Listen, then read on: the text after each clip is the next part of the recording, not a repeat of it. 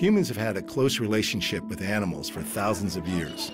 Scientists agree the domestic dog has been a trusted pet for around 15,000 years, and cats became part of the household from 10,000 years ago. And now it's estimated there are at least 600 million pet cats in the world. Exotic pets have also been kept for thousands of years. It's well documented that the Egyptians kept baboons as pets and exotic animals kept in the home feature in many ancient texts. In modern times, the keeping of exotic pets has increased. A staggering statistic is that there are more tigers in the U.S. alone than there are in the wild. Animal owners truly believe they are playing a role in preserving the numbers of exotic animals. But on the other side of the debate, there are those who believe it is a cruel practice to keep any animals in captivity. This series explores the issues from both sides, from those who know the dangers, but see the benefits, to others who condemn the keeping of exotic pets. Their stories follow.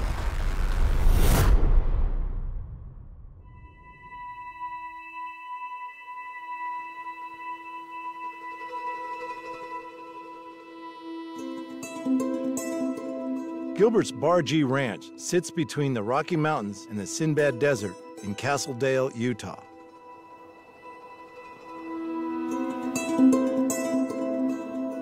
Since the 70s, Dwayne Gilbert has run a variety of livestock, including cattle and horses.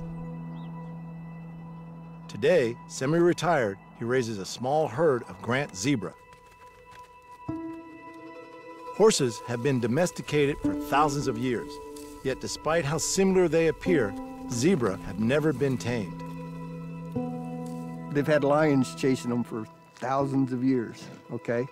Anything new, anything happens, they run. That's the only thing they know is to run or bite and kick. So if they're cornered, they're gonna bite and kick.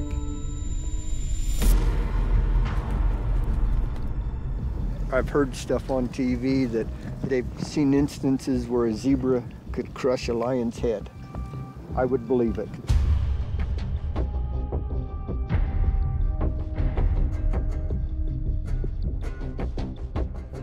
Dwayne has been running zebra for around 20 years and applies the knowledge he's gained from raising horses. We raised horses for a lot of years. We uh, we had a, a breeding stallion, run 20 head of brood mares. Uh, so I, I understood horses a lot. And a friend of ours in California says, you know, you like horses. You do really well. You got to try zebras. And so we bought a few zebras and we just really enjoyed them. When we got our first zebras, it was a little bit cold so I called the zoo and they says, oh, you have to have heated barns and you have to have this and you have to have that. So I did that and the zebras were beating each other up.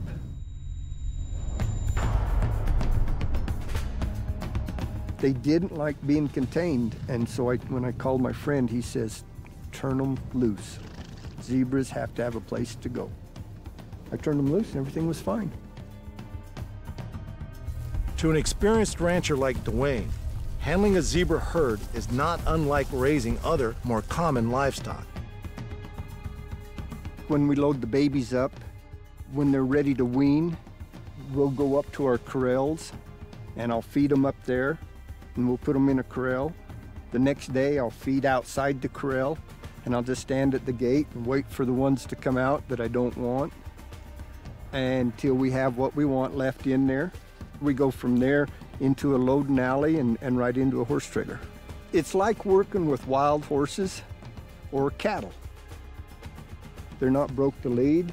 You're not gonna just push them in. If you'll notice, I fed my zebras, I strung the hay out. They're just like other animals. They have a pecking order. If you don't string it out, if you've got it all in one container in a feeder, you're gonna have three or four in there and you're gonna have them kicking and biting and they'll still grab the hay, pull it out of the feeder and eat it off the ground. And so I rather bring it out here where there's some grass and it's a little bit cleaner and string it out, let the zebras find their pecking order and they have a place to run. They have a place to go more than just 10 feet in case something happens. Dwayne's years owning zebra have made him highly knowledgeable about his striped equine herd. If there's a situation that we have to have a vet here, then we'd, we'd sure call them. I've used a couple of different vets. I know more about them than they do, but they're there with their experience and so that they can help do their end of it. As far as bringing them in, putting them in a chute or something, uh, you know, I'm more familiar with them and they just kind of stand back and then when we get them in there, then they, they're able to do what they can. While many zebra owners raise their unusual pets to be fully domesticated, Dwayne prefers his to remain wild. I leave them wild for a reason. I, I don't halter break, I don't bottle feed my baby zebras. When I want zebras in my herd, I want them so that they're scared of me, okay? I don't want one that's not scared of me to where uh, if, if there's an incident, it's gonna, you know, hurt me. I don't want that. As any other animal, especially equine, you take a stallion, and if they're not scared of you, when they get their hormones, a, a, a horse of any kind, you don't know if they can turn on you or at some time bite you. And zebras are the same. And if they're tame, they're not scared of you. And I can take my stallions and, and uh, they're just like this. Slow down a little bit, bud. You can feed them, they'll come up to you, be right by you when you want to feed them. But if you move, they're gone. Okay? I like that. Another thing I like about this, this is natural out here. There's cleaner grass. They have an area, they're not in a corral where it's chances of uh, infections or stuff. As a practiced rancher, Dwayne is always alert when working around large animals, especially unpredictable wild animals with a kick that can easily crack a skull.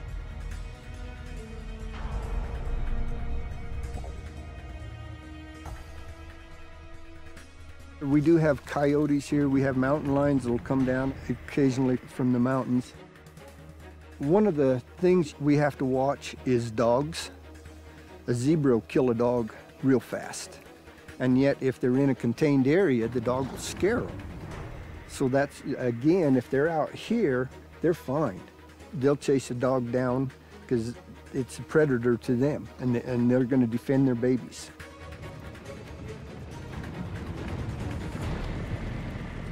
I could probably walk over there, but anybody different, uh, they it they're just scared. They're leery of anything new, anything you know, more than one person out here.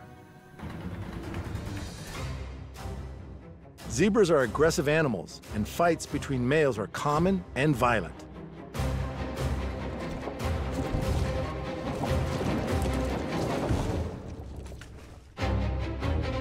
In May of 2018, a woman in Zimbabwe was attacked by a zebra she had kept as a pet for 10 years. It bit off her thumb and part of one breast.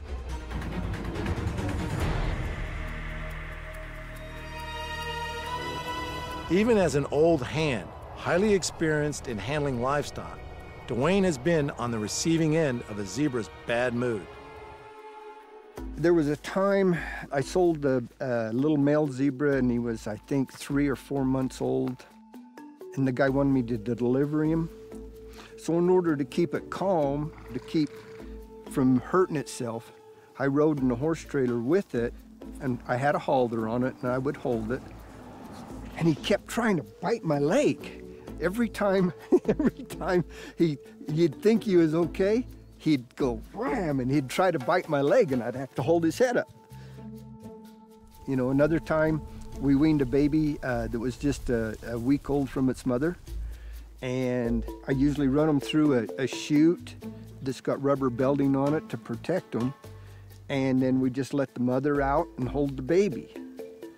Well, I got in with the baby after the mother got out, and she was going over the top trying to bite me. I thought, you know, this is not a good situation. I should have been farther away, but luckily she couldn't reach me. But there again, she was protecting her baby. A strong protective instinct and an equally strong tendency to startle makes for a highly unpredictable animal. So, do zebras make good pets? People want some that are bottle fed. When they want a bottle fed one, they take them anywhere from two days old up to 10 days old to 30 days old, and they can still bottle feed them. When they bottle feed them, it just makes them gentler. Uh, petting zoos want a gentle zebra, okay? People that uh, want to put one with a couple of horses and have in their yard, in their pasture, they, they want one that's calmer, so they'll buy one and raise it on a bottle. Other people, I've seen them take them at six months old, 10 months old, uh, a year old, and put a halter on them and still break them to lead. They take a lot of work in order to get them at that point, though. A bottle-fed baby will, will bond with uh, the person that's feeding it. We've seen an instance in uh, California one time.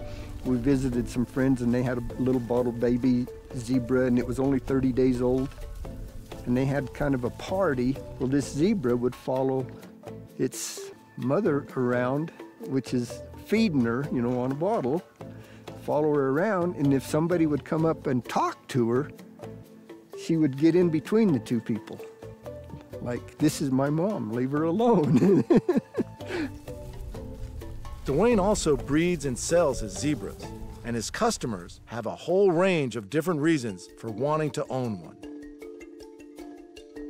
You know, I've been raising them over 20 years, and, uh, you know, uh, you just, I don't know, it just seems like we have a number of people every year still calling saying, you know, I got a zebra from you, I want another one. And of course, petting zoos, they've been good clients. There's still so much of the public out there that doesn't know that you can own a zebra. And it seems owning zebras can also bring some completely unexpected surprises and special moments. One time a young girl from Salt Lake called me. She had heard we had zebras and she had just loved them. And I didn't know her. She called and says, if we brought a photographer down, could we get some pictures of me in my wedding dress with the zebras? And I says, you can try. But I says, you put a white dress on and step out in front of them zebras and they're gonna leave. And she says, well, I'd really like to try. I just love everything about zebras. Her and her mother showed up and she got in her wedding gown and had the photographer down here and we came down here and I put some feed out for the zebras and they left the feed and walked right up behind that girl in that mm-hmm. white dress like, that is something different. You just don't know how they're going to act. So many times I think they're going to just run and get away from anything that's new, and yet all of a sudden they'll turn around and, and say, hey, this doesn't scare us. See, we've got one here that says, there is something different over there.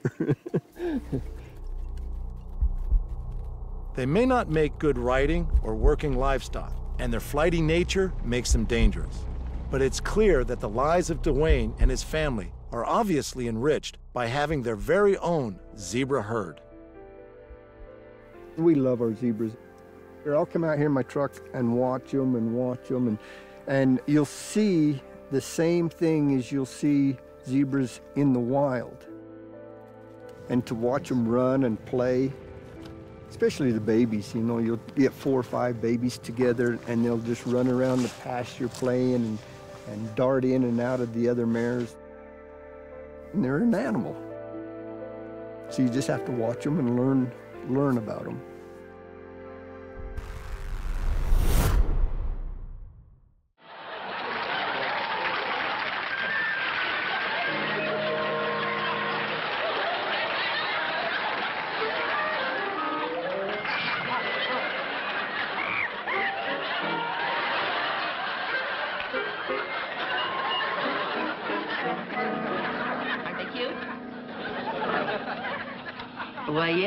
Cute, all right.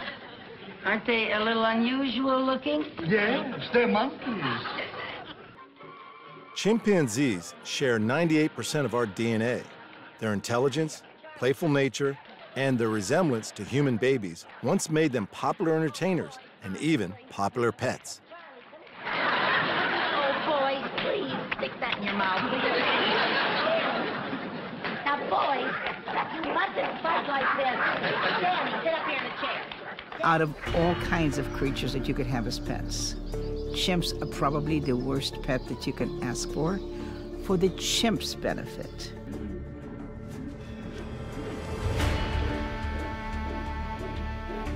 You may get the greatest joy in the world by having a chimp, but what does the chimp get out of it? Martine Colette is the founder of Wildlife Way Station, an exotic animal sanctuary that a colony of 40 chimpanzees now call home. Chimps need chimps. They need to grow up in a colony with young chimps and old chimps and in between chimps and chimps have personality, cranky chimps and happy chimps and dominant chimps and subordinate chimps and chimps learn by watching. And baby chimps learn everything by watching the adults. And they grow up with chimpanzee skills, which then allows them to take the rightful place in the world of chimpanzees.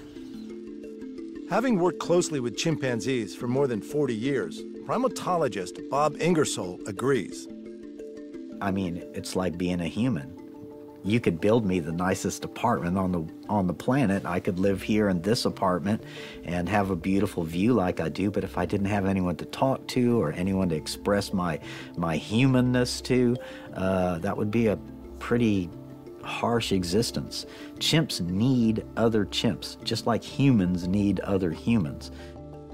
Bob was part of the controversial NIM research project in the 1970s, in which researchers explored captive chimpanzees' ability to learn language. Chimps are chimps, uh, bats are bats, and they, and they behave with their genetic predisposition, but on the cellular level, they're very similar to us. So it makes sense to me that those animals are thinking just like us.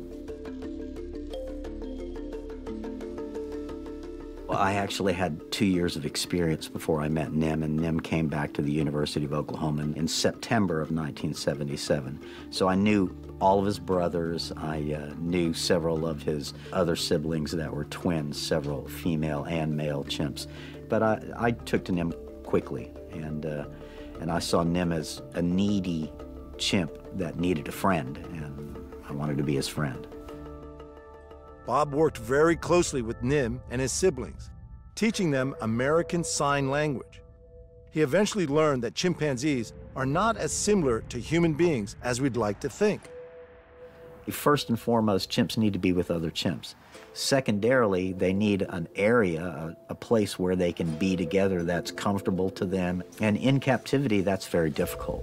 I mean, I work with a number of sanctuaries, and, and that's always our problem that uh, no matter what, you can't give them freedom. We do what I call the illusion of freedom as best we can, but at the end of the day, they're still in captivity. And like I keep saying, captivity is the enemy.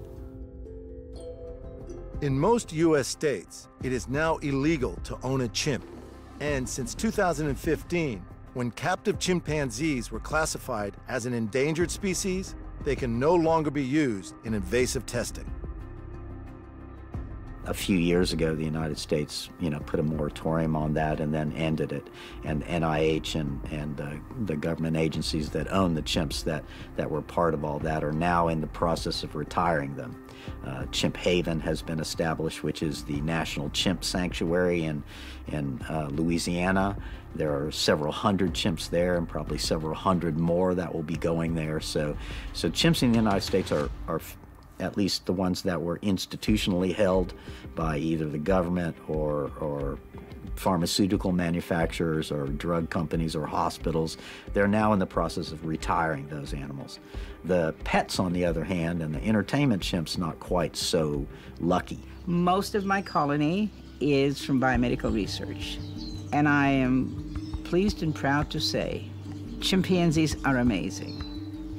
They are very philosophical, they do learn, they adapt well, and we probably have the biggest uh, group of chimpanzees in the western United States here. And there are bigger chimp sanctuaries in Florida and in uh, Louisiana. And they have, of course, bigger grounds and big opportunities than we do here. But based on all the knowledge I have had, we've had only one really, really tragic uh, chimp that came to us. He was a self mutilator and he would bite and rip and destroy anything from the end of his fingers to as far as he could reach with his mouth on both arms and hands and down his legs. And it took us five years before we could stop that type of behavior. But stop we did. Well, actually, he did. We gave the opportunities, we gave different options, and he adjusted and adapted. And towards the latter part of his days, the last few years of his life, he lived in a group of chimpanzees. And I'm thrilled.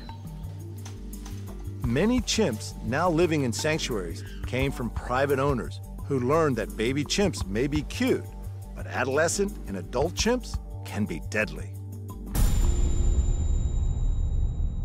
No, I, wouldn't say that a chimpanzee was necessarily a predator in the sense that a big cat or a lion or, or any of those, you know, a crocodile or, or barracuda fish or whatever, you know, are predators. But in the wild, chimpanzees cooperatively hunt. They eat monkeys. They they hunt monkeys. They hunt bush buck, uh, and that's fairly natural. Uh, I, I think that's also you know I, am interested in chimp cognitive behavior, and and when you when you understand what they do in the hunting situation in the wild, it's fairly complicated. They send out points. They they they talk amongst each other. They move the animal to the tree that they're going to you know do whatever. So the planning and and the advanced thinking and those sorts of things that you see in that context are are are complicated and they are definitely preying on those monkeys. Those who do choose to take on chimpanzee ownership rarely keep their dangerous pets for more than a few years. Very seldom. Very seldom. By the time a chimp is five, six years old, sometimes seven, it's already becoming a chimp. It's assertive and it wants to do this and unless you understand chimps and you are a good and a kind trainer, you're not going to be able to teach this chimp what you need him to do because you're not treating him in that manner. This is your this is your pet. This is your baby and they can be dangerous. As you've heard about some of the accidents that happen throughout the world, they're pretty brutal. In 2009, Charla Nash was severely mauled by her friend's exotic pet. She lost both her hands, her nose, ears, and her sight. Stamford 911. Where's your emergency? Oh, this is Sandy. 231 Rock, Rock Rimmon Road. What's Send the problem? the police. Send the police. He's killing my friend. Who's killing your friend? Get my chimpanzee. He, he ripped her part. Hurry up. With a gun. Hurry up, please. There's someone on the way. With guns, please. You shoot him. What is the monkey doing? Tell me what the monkey. He, he ripped her face off. The easily visible muscles on this chimp with alopecia show just how strong these chimpanzees are. Combine that strength with almost human intelligence, and the chimp can be a formidable threat. Chimps are dangerous because most people do not understand what is a chimpanzee.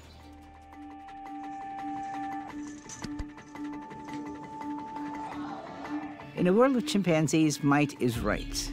You know, there is a very definitive hierarchy and so on and so forth. There is order in a chimp colony. It may not appear so for somebody standing outside and watching some of the behavior, but there is order. But chimps are dangerous. They are five times as strong as you are. They have an intellect that are five, six, and occasionally even a seven-year-old child. That's very bright. They can plan, they can figure, they can create situations where they will pre-plan things. So, and they're also, they can be very volatile. And so somebody does something against them, they're explosive and vol volatile. And they have teeth this long, and I've got arms, and they can do serious damage to people. Due to recent changes to legislation, sanctuaries are also seeing an increase in surrendered pet chimps. Well, I, I think that uh, those people that own chimps uh, are less out there now. I think that those people uh, should be examining the next step, which would be sanctuary. The pet chimps, especially, I think because I work at the Center for Great Apes, I know what they do and I know it's righteous. I know that they've taken animals in that, that didn't, you know, you wouldn't think would have a chance to be integrated into a group and then become a chimp, but I've seen it happen. And, uh, and I know people that have turned their chimps over to us who we don't we don't deny them access. They get to come and visit. We don't disallow them from coming to visit their ex pets. But uh, we have a number of people that that had chimp pets that that realized their mistake and have uh, rectified that by turning their chimps over to us. So. Uh, I mean, the reality is that uh, this is ending slowly but surely, and it's fewer and fewer chimps are sold in the United States per year. There are probably around 400 chimps that are still kind of up in the air in terms of what's going to happen, where they're going to go. And slowly but surely, we are attempting to move the chimps that aren't in an accredited situation into an accredited situation. Chimpanzees that come to sanctuaries from private ownership situations often have a hard time learning how to be chimps again. The chimps who've never seen grass or trees or sky or birds, I mean, they're startled by it and they're a little leery of it. They can be fearful to step outside. But a chimp's got a great brain and it's curious and it does step out eventually and it it will sit and it will look and it will figure things out and it'll watch by example. Most chimpanzees raised in captivity still enjoy and even seek out human contact. We here believe in creating an atmosphere where the chimps are trusting of their keepers and of their supervisors, of their people. So you can bring them along. You can make them feel secure. You can give them options of friends. They can choose their friends who they want to hang out with. You give a chimp an opportunity and you help it along in the areas where it has not been comfortable. They settle very nicely. There are a number of chimpanzees that have been in situations that are so egregious that I can tell you about one named Clyde, who lived for 35 years in a box in a garage. Uh, that's just wrong.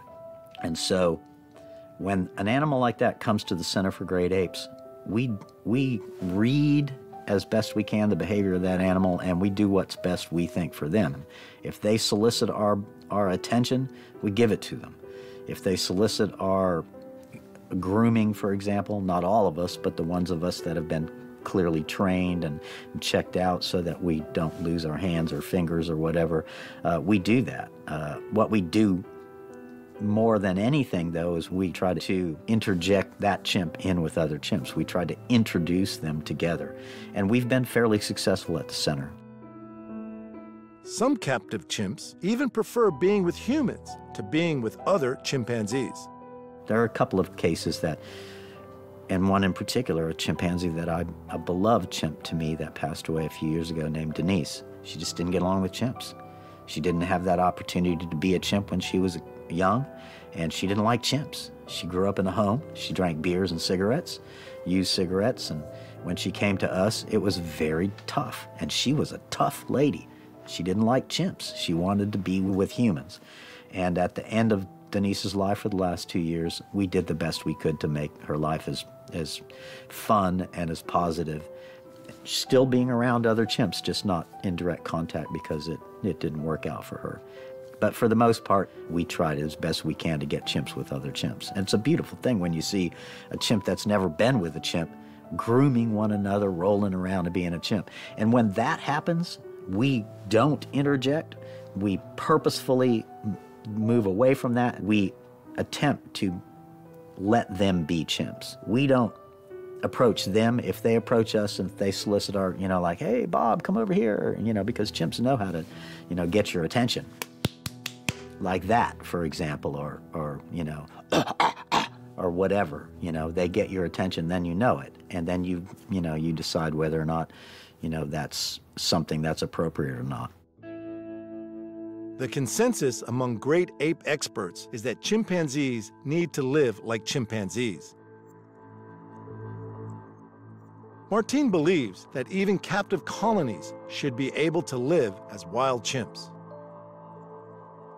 You know, it's interesting. I believe in the case of chimpanzees, I think every chimp group anywhere in the world should be allowed to reproduce every five, six, seven years. Because a baby in a chimp colony is a glue that keeps them together. It is the joy. They are so alive they are so interested in the baby. And there are aunts and there are uncles and there are kids to play with and there everybody loves a baby. And I think the quality of life chimps is greatly enhanced when every so often there's a baby. So I think, I believe, although we don't do it, but I personally believe we should allow decent sized groups of chimps to have a baby every so many years. Chimpanzee family groups may seem similar to humans, and their babies may seem just as adorable as human babies. But all that we have learned about chimps tells us that no matter how much they resemble humans, they are simply not meant to live as humans. Well, I am against captivity in the sense that for these animals that shouldn't be captive, but I also understand that they came, they came to be in the situation they are over time and from a time when we don't have the viewpoint we do now. And uh, so some of the chimps are caught up in that. They're, for the most part, they're aging out. I mean, we have a lot of 40, 50 year old chimps that are uh, passing away in sanctuaries. And as they pass away, the numbers dwindle. And ultimately, I think that uh, those situations will end. There won't be the surplus of animals that we had in the 60s and 70s and 80s when there wasn't a moratorium on breeding and that sort of thing. Find a nice sanctuary and place that animal in a nice sanctuary to allow this animal to have an opportunity to grow up to be a chimpanzee.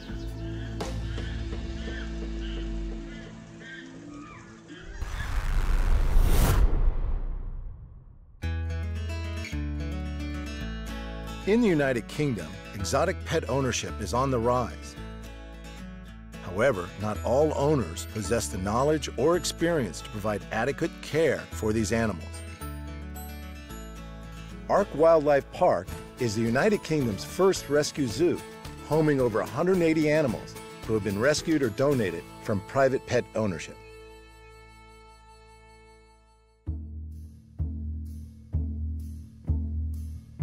Ark Wildlife Park originally started off life as purely a reptile sanctuary. So all the snakes and lizards in here are ex-pets. And then over the years, people started bringing us more and more unusual and weirder animals. This in here is a little grey-banded king snake. This little lady in particular is an albino, so she's got some beautiful coloration on her. And you can see why these guys are popular as a pet species. These little snakes and lizards can make great pets because if you go away for the weekend, as long as you've made sure there's someone to give them some fresh water, these guys aren't going to pine for you like a cat or a dog is going to, and they certainly don't need taking out for walks. So in some respects, they can actually be much less lower maintenance than sort of some of our more traditional pet animals like cats and dogs. But whether you actually get that reciprocal love come back to you, not really, I'm afraid. I don't think she'd ever miss me if I wasn't around like with any pet, people really need to do their research. And the other thing you have to factor in, a hamster or a, or a gerbil is going to be with you two, three years. This little lady here, she can potentially be with us for about 20 odd years. So reptiles, as a general rule, not all species, but as a general rule, they can have quite long lifespans. Compared to sort of most pet species, no, they thrive in a much smaller environment because that's what they're sort of designed to do. The reason why you go out into the countryside, and you very rarely, if ever, you'll see a snake coming across you because they're too busy hiding. That's what snakes do, I think. So they do like to be sort of like a bit more confined than traditional animals.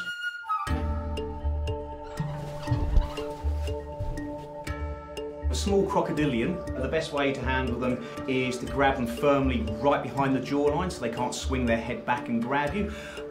Rudolph's reaching the size now where another foot or so I would be ha happy handling him. Um, but at this size, one man can easily handle one of these crocodilians if you know what you're doing and you've been trained. Um, again, this is where it comes to, they don't make good pets. make a mistake, they can easily take your finger off. Just gonna go in behind, grab him by the back of the head, gently ease him out, and then keep your hand locked behind and also support the hind quarters, more for his comfort than anything. Certainly when he starts getting much bigger than this, we wouldn't be actively handling him. Nowhere near fully grown yet, but uh, he's potentially going to max out about seven or eight foot long. Like most of the animals here on the park, he's one of our rescues, an ex-pet that was being kept illegally. These guys have got one of the strongest bite forces of any animal in the animal kingdom.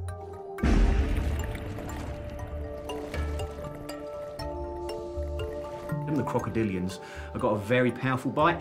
Even at this size, this guy could easily remove my fingers, which is why I keep my hands nice and firmly locked behind his jaws, but they're certainly, I couldn't think of a worse animal to have as a pet, really.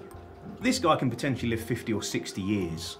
So that's the other thing people have to consider when they get a pet reptile, even the more common pet species like corn snakes and leopard geckos. They're not like a hamster or a gerbil that's going to be with you a couple of years. They've got the potential, a lot of these pet reptiles, 30, 40 years easily. But of course you have to factor in, uh, potentially they are dangerous. No, he's never bitten me, but I don't give him the chance to. Crocodilians, you can't trust them. It's not like a dog or a cat. Even though he's quite relaxed and laid back as far as crocodilians go, I'd never trust him. I don't give him that opportunity, so I'd never let him just sit on my lap loose, as it were. Uh, it only takes one mistake and you're going to lose a finger, so it's just not worth it. Another animal that shouldn't be confused for a house pet is the lynx. While they may look like a beautiful feline, the lynx is a wild cat and a very skilled predator.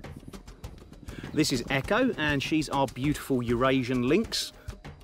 They cover historically Europe and Asia, used to actually be native here to the UK. And all lynx are characterised by those wonderful little tufts on the tip of the ears and the little short bob tail. And they're the characteristics um, of the four lynx species. She's been with us since she was only a little kit. She's not a rescue, she was brought in as an ambassador animal. We want to start helpfully raising funds for the Iberian lynx breeding project, her close cousin, which is also unfortunately the most endangered wild cat species in the world.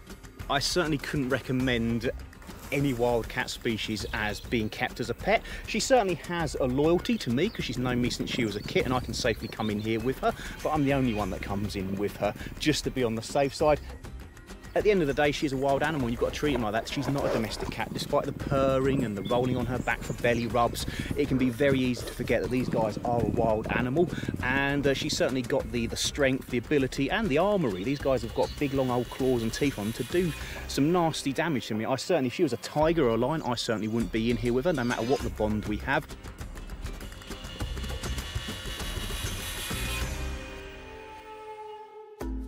If you were to have a, a, bad day, I'd walk away from the situation. Whereas if you're saying like a tiger, I wouldn't. But either way, you've got to remember these are wild animals. So you've got to treat them with that sort of level of respect.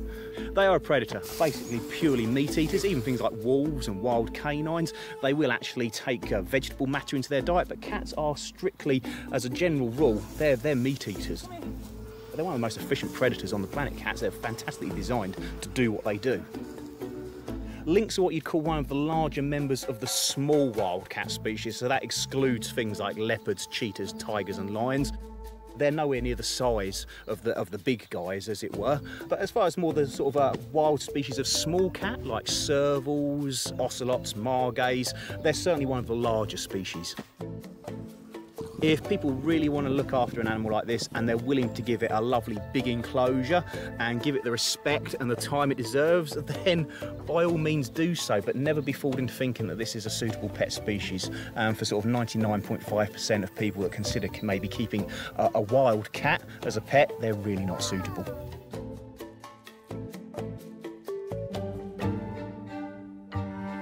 Foxes. They're a controversial animal that divide the public's opinion. Some see them as pests and tricksters, while others think they're adorable. Keeping a fox in Britain is legal, however, not without its challenges. They are cheeky, as our crew found out when this guy decided to investigate the camera bag.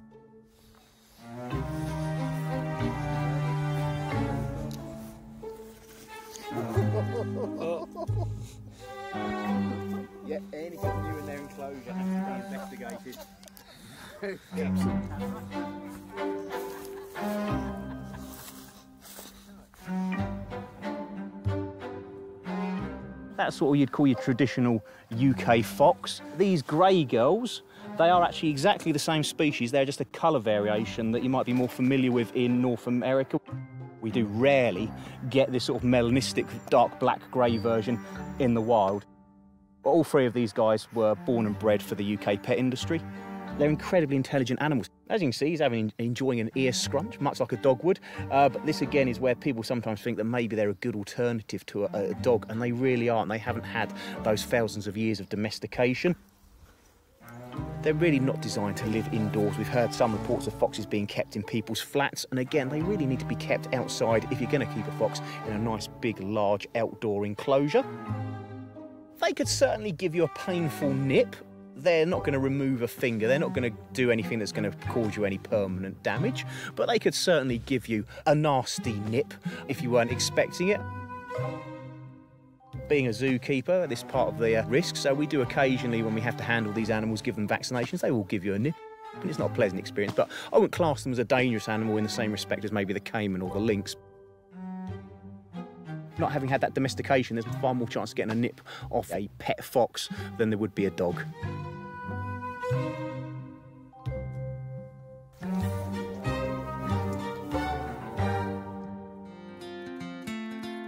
Ark Wildlife Park is the home to many different types of animals. Some familiar, like these rabbits, goats, and pigs, and others a little more unusual. But they all have something in common. They were once pets in a private ownership. Ark Wildlife Park is the place that animals end up when private pet owners don't or can't care for them. It's important to remember that exotics are not for everyone. These animals will live out their lives in captivity, but play a role in educating the public on the reality of keeping exotic pets.